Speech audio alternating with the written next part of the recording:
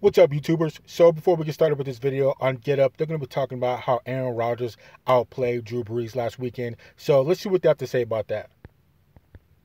Let's go to the host of our show, Rex Ryan, this morning. Uh, Rex, your thoughts on Aaron Rodgers and, in particular, how comfortable he all of a sudden looks in this offense at year two? Yeah, Greeny, when I look at it, look, last year they were 3 0, but it feels so different, feels so much better. It really is being because it's more intentional of a 3 and 0. Last year you didn't quite know if it was they were getting lucky or what was going on. This year the 3 and 0 feels way more intentional because they're balling out of control right now. Because of the connection he has with uh, LaFleur as coach. I mean, look, last year there was friction there you know, and maybe he, you know, I want to do things my way. Well, no, they're together right now, and that's scary for the whole league. Dan, uh, what do you think, Dano? I'd say this. Good job, host. Um, no, I, after week one's performance, I said that was the best Aaron Rodgers looked in five years. And some people thought I was a little being extreme. Aaron Rodgers himself thought I was being extreme. This is the best Aaron Rodgers has looked in five years. After three weeks, he's playing his best football. Green Bay is the crown of the NFC. They are as complete a football team as we have. Well, I don't know about that. I would say that the Seattle Seahawks are right up there with the Green Bay Packers, too. Having the NFC and right now playing the best. And the biggest thing is this. There was some questions coming into the season of how good Matt LaFleur was. Like, it, was he going to be good enough? I had was, questions. Was last year yep. uh, an aberration? You know, first year as a head coach? He is the reason why number 12 is playing so well. That's the thing that's going on right now is Green Bay.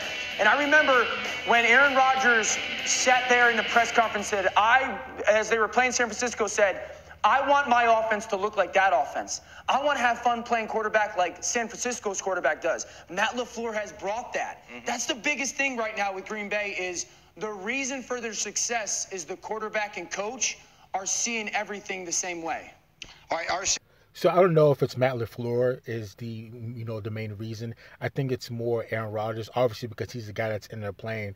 But you know, Aaron Rodgers is a Hall of Fame, you know, Super Bowl winning quarterback that's well on his way to getting to going to another one. So I think it's more Aaron Rodgers than Matt LaFleur. So I wouldn't have said that. I would have just left it at Aaron Rodgers putting in work. So we see one side of it. The Packers obviously right now look as good as any team in the NFL. The other side, Drew Brees came back to win a Super Bowl this year. They're one and two and struggling in a lot of different ways. What do you see from the Saints? Well, the difference is this. Listen, 12 can still do it and 9 can't.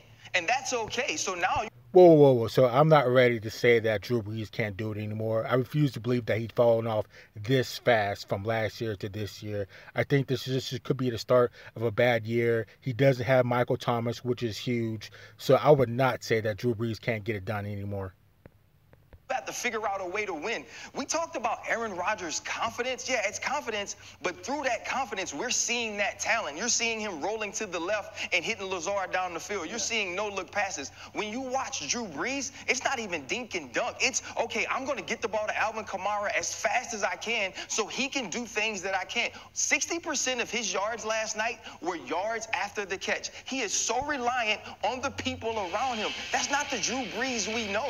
And so as the Green Bay Packers go throughout this season, what they will think to themselves is, we can win because of the guy that is playing quarterback for our team. What the Saints will, will think is, no matter what happened, it won't be a Minneapolis miracle. It won't be a Kyle Rudolph push-off. It will not be a missed defensive pass interference. The reason the Saints won't win the Super Bowl this year is because their quarterback can't do it. Mm. And that's something that they haven't dealt with in a decade and a half.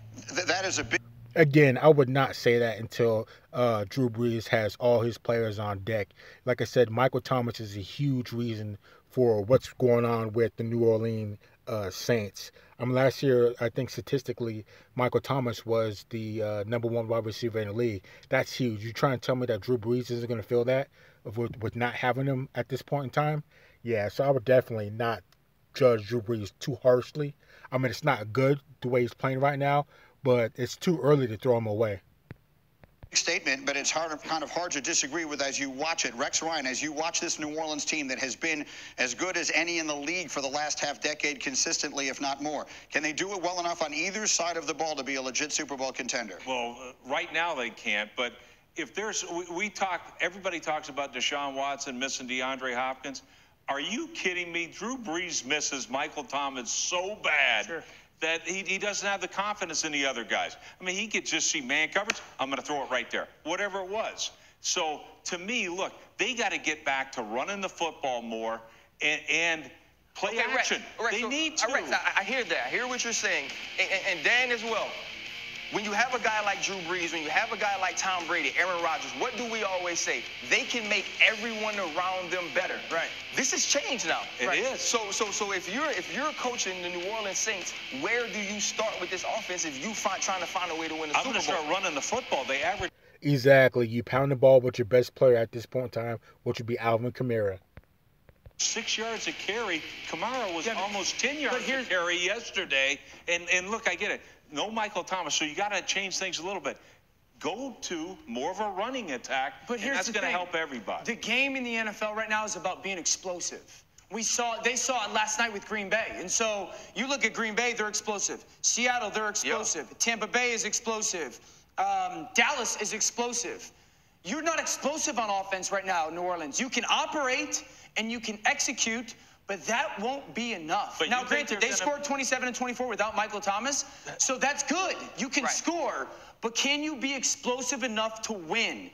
That's the game right now in the NFL. Running the football is not going to do that. You can't screen pass people to death. You can't, and, and, w- and beat good football New teams right England now. did. But they beat the Raiders. Excuse Yeah, me, they did. Greeny. Greeny, would they you like? did. Hold, excuse me, one second, host. Greeny, would you like to join the show? Yes, Go I will ahead. jump in very quickly and just finish this conversation with this question for you, Ryan Clark. What are you seeing from Aaron Rodgers right now? That's your nemesis. Let's finish it on the guy who won the game last night and whose team right now I'm looks like it may be the best in the Listen. I'm seeing Aaron Rodgers right now being able to call people by their number, even though he knows their names, and go, "Tss," because that's the way he is fitting balls in. And listen, every time I watch it, every time I watch it, it just brings back memories and nightmares of how great that man was. And he said he started watching film from 2010. And that's the dude he was. When you go have a conversation with your coach and say, I want it to look like this, and he makes it look that way, like you said, Dan, you put that pressure on yourself. For sure. And I believe that Aaron Rodgers wanted that pressure, and my goodness, is he thriving in it. That throw to Lazard, the throw to to Lazard, rolling over his left and throwing it with air, and it lands so softly. I said like with a butter, like a butterfly with sore feet.